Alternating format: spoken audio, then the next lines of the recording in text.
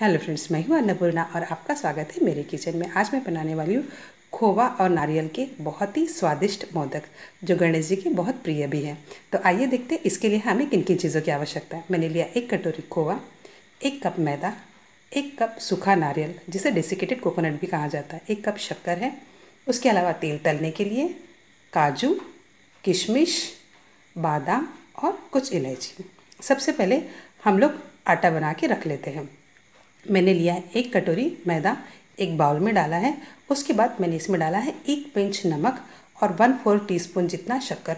ये दोनों ऑप्शनल है, बट ये डालने से मोदक के ऊपर का लेयर बहुत अच्छा लगता है। उसके बाद दो स्पून ऑयल गरम करके मैंने डाला है। ये है मोयन। डाल के मैंने इसको अच्छे से मिक्स किया है। मिक्स करके मैं अब हाथ से मिलाकर एक बार इसका मुट्ठी बना के देख लूँगी। अगर हमारे मुट्ठी में ये बनता है, इसका मतलब मोयन परफेक्ट है। अगर ऐसा नहीं होता है तो थोड़ा सा ऑयल आप और डाल लेना। उसके बाद थोड़ा थोड़ा पानी डालते हुए इसका एकदम नरम आटा बनाना है। नरम आटा बना के अब मैं इसको ढक के आधे घंटे के लिए रख दूँगी। अब आटा बन के रेडी है। मैं इसे ढक के साइड में रख रही हूँ। अब हम करते आगे का प्रोसीजर अब मैंने रखा एक पैन पैन जैसे गर्म हो गया, इसमें मैंने डाला है एक कटोरी खोवा। ये होममेड खोवा है, आप चाहो तो मार्केट का भी इस्तेमाल कर सकते हो। इसको अच्छे से मैश करते हुए दो मिनट तक धीमी आँच पे भुनना है। उससे ज़्यादा नहीं भुनना है अदरवाइज़ खोवा जल जाएगा। और इसमें से घी अलग होना स्टार्ट हो जाएगा। अब मैं इसमें डाल रही हूँ डेसिकेटेड कोकोनट खोबरा किस। इसको भी मैं अच्छे से भून रही हूँ। धीमी आँच पे ही दो मिनट तक। दो मिनट से ज़्यादा नहीं भूनना है। दोनों को मिलके मैंने चार मिनट तक धीमी आँच पे भुना है। अब मैं इसमें डाल रही हूँ शक्कर। शक्कर को हमें ग्राइंड करके डालना है। आप चाहो तो डायरेक्ट भी डाल सकते हो। शक्कर जैसे ही डाला, मैंने गैस का फ्लेम ऑफ़ कर दिया। शक्कर डालने के तुरंत बाद गैस का फ्लेम ऑफ़ करना ज़रूरी है। अदरवाइज़ शक्कर पिघल जाएगा और स्टफिंग ठंडा होने के बाद हार्ड भी हो जाएगा और टेस्ट भी अच्छा नहीं रहेगा।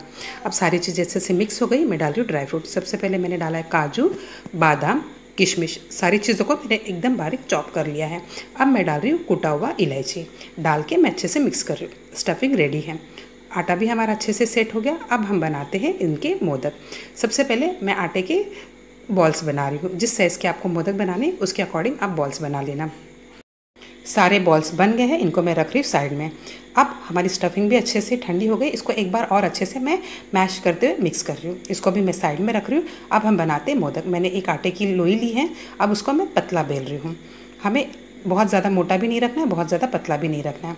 मैंने इसे बेल लिया है साइड से पतला होना है, बीच में थोड़ा सा मोटा। अब मैंने एक स्पून स्टफिंग लिया है। स्टफिंग लेके इसके अंदर डाल दिया है।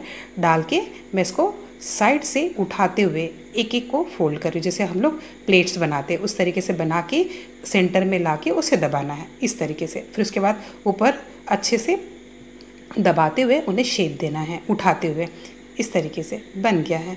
अगर आप से हाथ से शेप नहीं बनता है तो आप मोदक बना के जो हमारा फॉक होता है, उससे साइड से दबाते हुए आप इस तरीके से भी शेप दे सकते हो। सारे मोदक बन गए हैं, तेल भी गर्म हो गया। अब मैं एक एक मोदक डालते हुए इन्हें अच्छे से फ्राई करूँगी। तेल अच्छे से पहले गर्म किया, फिर उसके बाद मैंने गैस का फ्लेम स्लो कर दिया। उसके बाद मोदक डाले हैं। मोदक जितने एक बार में आते उतने ही डालना। मोदक डाल के हल्के हाथों से इन्हें पलटते हुए फ्राई करना है। अगर हम लोग बहुत ज़ोर से पलटेंगे तो मोदक फट जाएगा और उसका शेप भी बिगड़ जाएगा। हल्के हाथ से पलटना है। पलट के एक दो मिनट वेट करूँगी। उसके बाद फिर से मैंने अपोजिट साइड टर्न करके ऊपर नीचे करते हुए इन्हें गोल्डन ब्राउन होते तक फ्राई करूँगी। पिछली वीडियो में मैंने मूंगफली और तिल्ली के मोदक की रेसिपी शेयर की थी।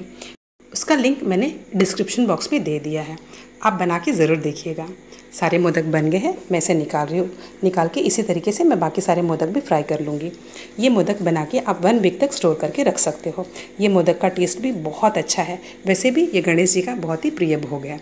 अब सारे मोदक बन गए, मैं आपको एक तोड़ के दिखा रही हूँ। आप देख सकते हो, ऊपर से क्रिस्पी अंदर से एकदम मावा और ड्राई फ्रूट से भरा हुआ, बहुत ही स्वादिष्ट मोदक बन के रेडी है।